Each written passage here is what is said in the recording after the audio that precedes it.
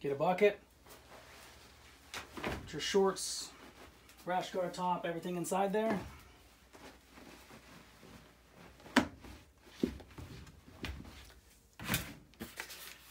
And get some distilled vinegar, 5% acidity. And cover it.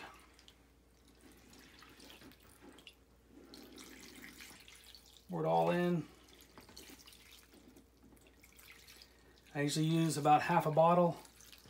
More, of course, if you're adding a gi to this or something like that.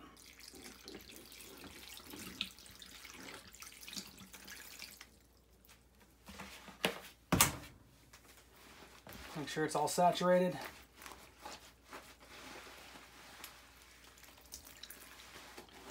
All right, let that sit for about four hours.